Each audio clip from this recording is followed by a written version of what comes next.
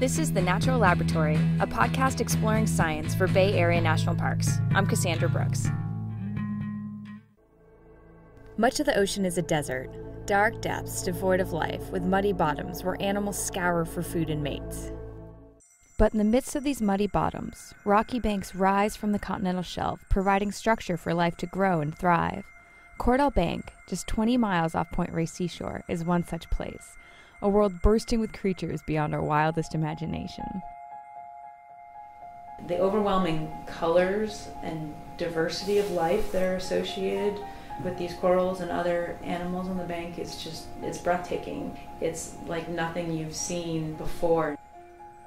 Because of where the bank is situated and because of our local oceanography, it's a very, very productive place, both on the bank and around the bank. So it just really is uh, an oasis of life out there. It's spectacular. That's Lisa Etherington, research coordinator at the Cordell Bank National Marine Sanctuary, and Dan Howard, the sanctuary superintendent.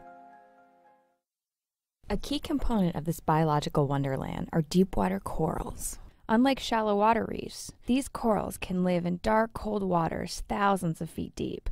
All over the world, from the Arctic to Antarctica, researchers have found these corals, and each new deep sea coral community they find supports an incredible assemblage of life.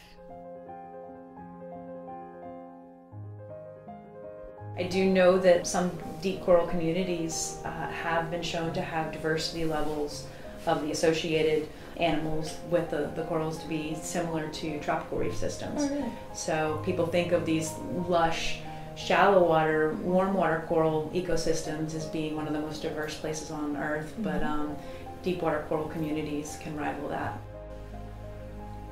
They provide a, a 3D structure. A lot of organisms will use them as habitat, either for refuge from predation, areas of feeding, uh, areas where um, they'll spawn, or nursery areas where young individuals can grow up. And I wondered if um, Cordell Bank was it designated a sanctuary because of the presence of corals? I don't think uh, when the sanctuary was designated in 1989 that many people other than the fishermen understood the deep coral communities. I, I don't think anybody really understood it. I know there's still a lot of things we don't know about deep sea corals, but in terms of what we do know, that I understand they're really slow growing and Right. pretty vulnerable. Right? I I think it's been documented that some individuals will only grow one to two centimeters per year. So it takes them a while to get to um, you know a substantial height, and some of these will you know be 10, 15 meters high. You can have some really large colonies or individuals, and some form reef systems. So how old Uh, would those that are 10 to 15 meters high? I know they've been documented as over 1,500 years old. So one of the longest lived uh, organisms on the earth.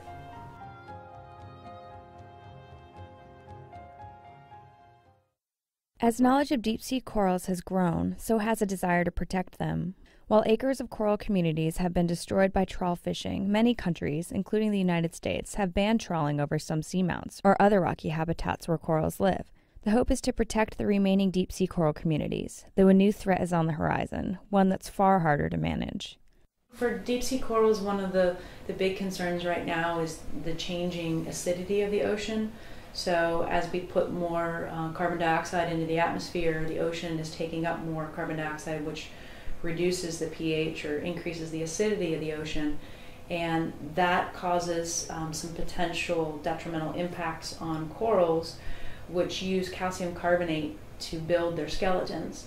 So, if we have a more acidic ocean environment, then it's harder for these animals to build their skeletons, and it also potentially could dissolve their skeletons in some cases. You know, we have we have so so much to learn, but as a sanctuary, you know, we certainly the one thing that we can do is is try to protect these habitats and keep them in as you know as close to a natural state as we can, so that they have the, the best chance possible to survive or uh, be resilient in a, a changing environment. With the Pacific Coast Science and Learning Center, I'm Cassandra Brooks.